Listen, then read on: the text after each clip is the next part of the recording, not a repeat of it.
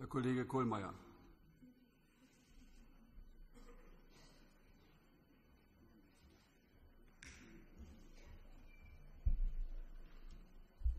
Sehr geehrter Herr Präsident, sehr geehrte Damen und Herren, liebe Kolleginnen, liebe Kollegen!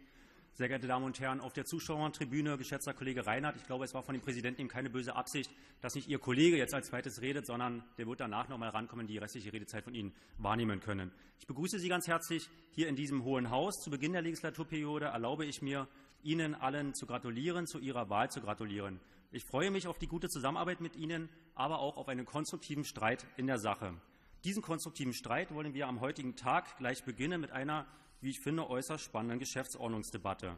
Wir haben hier mehrere Anträge vorzulegen. Kommen wir zu dem ersten Antrag, der hier vorliegt, und zwar dass den, den Oppositionsantrag, dass der Hauptausschuss der Opposition zustehen soll. Die Opposition beantragt hier, in der Geschäftsordnung festzuschreiben, die Opposition führt automatisch den Hauptausschuss. Dieser Antrag ist bei der letzten konstituierenden Sitzung immer von der, von der Opposition gestellt worden habe mir noch einmal die Drucksache 16-001-1 neu vom 25.10.2006 rausgesucht. Und man mag sich wundern, der Antrag ist wortgleich übernommen worden.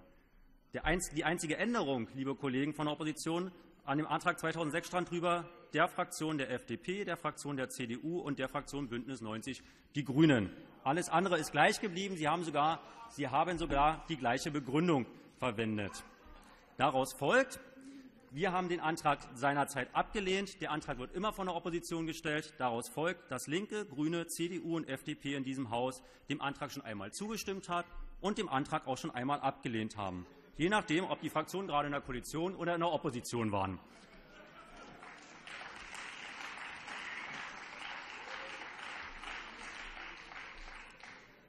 Die SPD ist sich an diesem Punkt treu geblieben.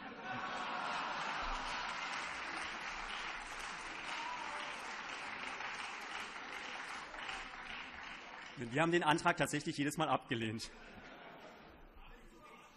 Wir haben den Antrag deshalb, nee, nicht bis zum nächsten Mal, lieber Kollege Lederer. Ich würde mich ja wünschen, Sie wissen es. Der Grund, dass wir es abgelehnt haben, ist nicht, weil wir den ablehnen wollen, ähm, weil wir nicht, nicht ähm, das Ansehen verstehen können, sondern, nee, nee, der Antrag, also Sie müssen, sich, naja, nee, Sie müssen einfach mal in die Begründung reinschauen. Da steht da drin, die Opposition könnte die Regierung besser kontrollieren. Also ich sage mal ganz vorsichtig, liebe Kollegen, was die letzten fünf Jahre erlebt hat als SPD, der kann uns tatsächlich nicht vorhalten, dass wir nicht die Regierung ordentlich kontrolliert hätten. Wir haben wohl Wir haben, in den letzten, wir haben in den letzten fünf Jahren sehr deutlich gezeigt, ich darf uns das Beispiel BIH nennen, dass wir mit unseren Senatoren äußerst selbstbewusst umgehen. Und ich kann Ihnen versprechen, dass das auch in den nächsten fünf Jahren so bleiben wird. Ich sehe, der regierende Bürgermeister freut sich darauf schon. Ich habe mir weiterhin mal angeschaut, weil in dem Antrag ja begründet ist, alle anderen Bundesländer würden es genauso machen. Es wäre so viele ähm, Regelungen innerhalb der jeweiligen Geschäftsordnung. Es gibt im Bundesländervergleich acht Bundesländer, wo übereinstimmend die Regierungskoalition ähm, den Hauptausschuss führt. Die anderen acht, selbstverständlich, ähm, ist eine andere Fraktion, die den, die den Hauptausschuss führt, als die jeweilige Regierungskoalition. Das einzige Bundesland, das eine entsprechende Regelung hat, ist Bremen. Bremen hat in § 63 Absatz 1 relativ spät am Ende der Geschäftsordnung zumindest reingeschrieben, der Vorsitz steht der stärksten Oppositionsfraktion zu. In allen anderen, naja, eine, also eins von 16, ne, nicht, eins von 16 ist nicht viele, sondern eins von 16 ist eins. In allen anderen, in allen anderen, in allen anderen Geschäftsordnungen der anderen Bundesländer gibt es eine entsprechende Regelung nicht. Und, liebe, und liebe, lieber Kollege, ich komme ja gleich zu Ihnen, lieber Kollege von den Grünen, wir hätten ja den Antrag möglicherweise anders ähm, diskutiert, und Sie reden ja gerade dazwischen, wenn Sie Ihre Wahlziele auch nur annähernd erreicht hätten. Dann würden Sie jetzt hier vorne stehen und uns allen wortreich erklären, warum der Antrag falsch ist und warum die bisherige Regelung so gut ist.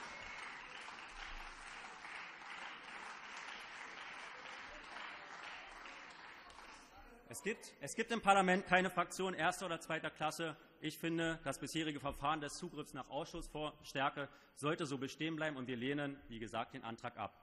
Zu den Antrag der Anträgen der Fraktionen der, der Piraten. Erste Anmerkung dazu.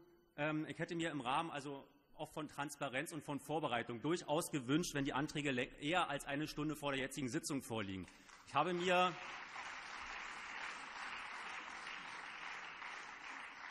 Ich habe mir, weil ich mich ernsthaft mit Ihnen auseinandersetzen möchte, tatsächlich eine etwas andere Arbeitsweise angeeignet und habe 15 Minuten vor der Sitzung mir noch schnell Ihr Pad angeschaut und habe dabei festgestellt, dass bei meiner selbst hohen Auffassungsgabe es mir nicht möglich ist, Ihre Diskussion, die auf acht Seiten, ich habe sie leider ausgedruckt, weil mein iPad ist noch nicht da, auf acht Seiten hier niederkommt, nachzuvollziehen. Und ich glaube, der Kollege Baum hatte in der Sitzung, die Sie am, weiß ich gar nicht, ähm, diese Woche hatten, Top 4, ähm, es zu Recht gesagt.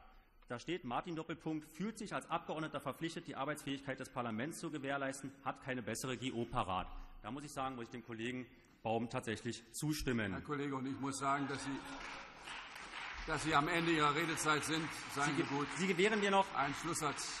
Sie gewähren mir noch noch einen Satz, einen Schlusssatz, Herr Präsident, ausnahmsweise in Anbetracht der so neuen Situation. Ich bitte um die Übernahme der bewährten Regelungen für das Hohe Haus. Die haben sich bewährt. Ich verspreche den Piraten, die Anträge werden überwiesen in den zuständigen Geschäftsordnungsausschuss, der demnächst, ähm, äh, heute demnächst eingerichtet wird. Und dann sollten wir die Anträge dort besprechen, weil da auch die Anträge, die Sie den Ei mit der verfassungsändernden Mehrheit der Wirtschaft nicht funktionieren. Da brauchen Sie eine Zweidrittelmehrheit in diesem Haus ähm, um den zu ändern. Da können wir aber in dem zuständigen Geschäftsordnungsausschuss das ordentlich und vernünftig miteinander beraten. Herzlichen Dank und auf gute Zusammenarbeit.